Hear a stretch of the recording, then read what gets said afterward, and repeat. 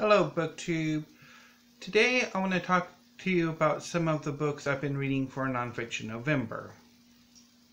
Of the books I have on my docket, um, basically two of them closely match um, the prompts that Olive of a Book Olive um, came up with for this year's Nonfiction November prompts. Uh, I chose uh, Schulz and Peanuts, a biography by David Michaelis uh, for design because obviously uh, Schulz was a cartoonist and cartooning does involve some design. And The Good Neighbor, The Life and Work of Fred Rogers by Maxwell King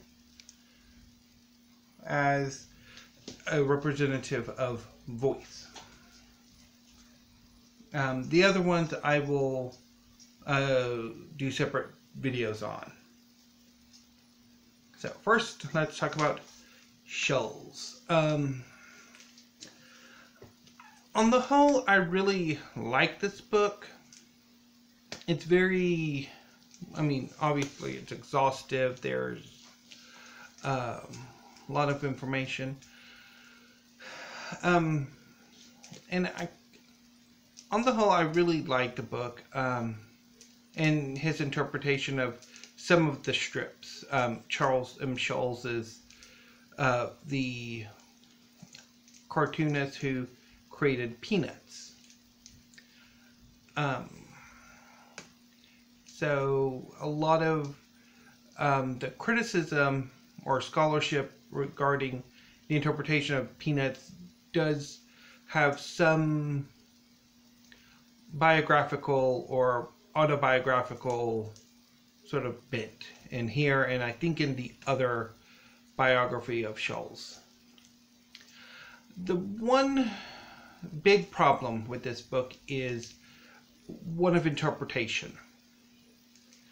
Um, Michaelis ha- basically there he has like an interpretive strategy. Um, it's not explicitly a form of psychoanalysis, but it is a kind of a form of psychoanalysis that he tends to interpret Schulz's life in.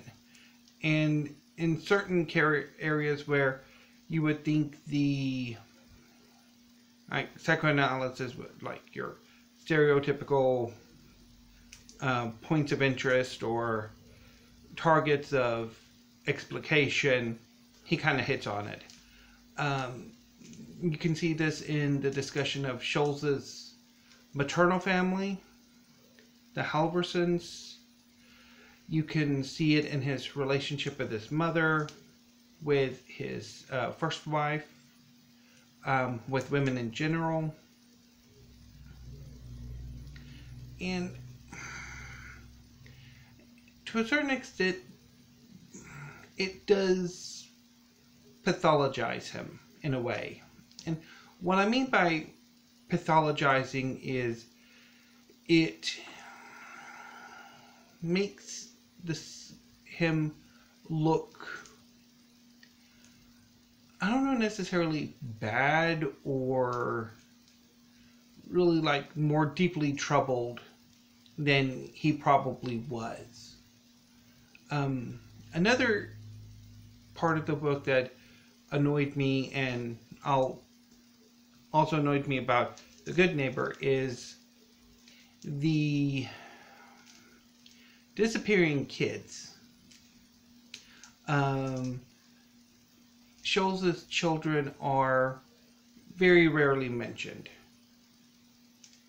Um, I mean, there'll be like, uh, he'll talk, there'll be some issue with uh, Meredith or maybe one of the others um, might pop up here and there of doing something or other, but it's like, yeah, for where have they been? It kind of was like, and it sort of was like, so if the kids aren't has mentioned or as present, what else isn't being mentioned or what else is being left out. So, anyway. But on the whole, it was a really good book. Um, despite, I think, the interpretive issues and maybe raising questions of are things being left out. Again, probably another biography. Probably that kind of gives more information or a counter point to it. So, moving on to The Good Neighbor with Fred Rogers. This is more of a hagiography. um, uh, yeah, Fred Rogers was like an amazing human being. He appeared to be an amazing human being, and he was an amazing human being. Um, he just it, yeah. I mean, and I think Maxwell King really captures the character of Fred Rogers magnificently. But again, there is the disappearing children. Um, particular, and in this case, it's particularly pertinent because Fred Rogers did have some chil- some problems with his sons as they were became teenagers, and that kind of raises two questions: Why is these issues only being raised in this one tiny part of the narrative, and two, that raises a very interesting question of for somebody who could connect so well with um, preschoolers, with young children, why did he have such difficulty connecting with his own sons when they were teenagers, or did he have problems connecting with teenagers in general, or just one of those things where like family complicates matters? Um, that was interesting. Another thing that I really found annoying is once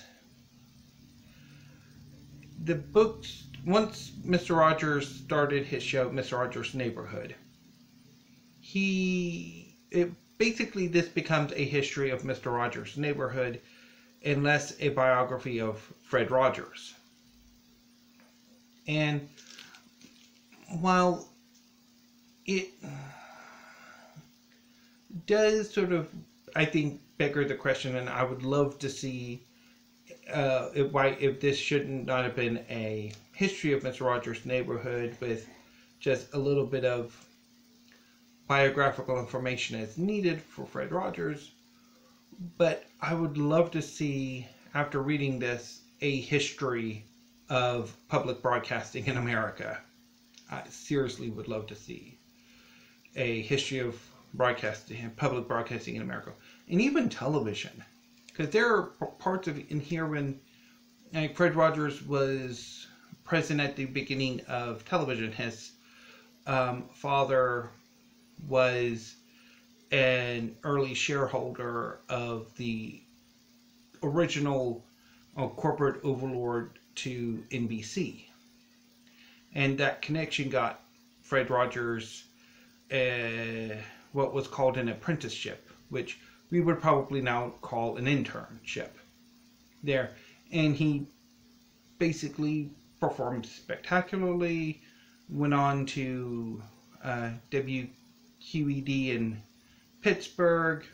Again, uh, when that station was first starting up, and it's just really interesting look at um, early television. You know, anyway, but so yeah, I'm I enjoyed it. I kind of, I mean, started getting a bit disappointed as the focus shifted more toward to a history of the neighborhood and the structure broke in such a way as to sort of look more like an more of like a history than a biography.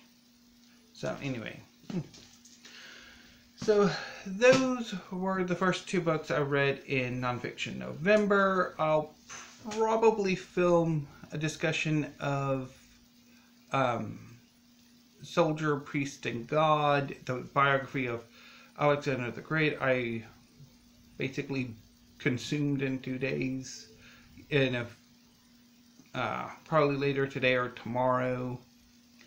And that's and then I'll try to do a writing uh, NaNoWriMo update in probably Friday. So anyway, that's it. All I got today, or right now, anyway. Sorry. I'm a little scattershot today. Sorry about that. Anyway, thank you, BookTube.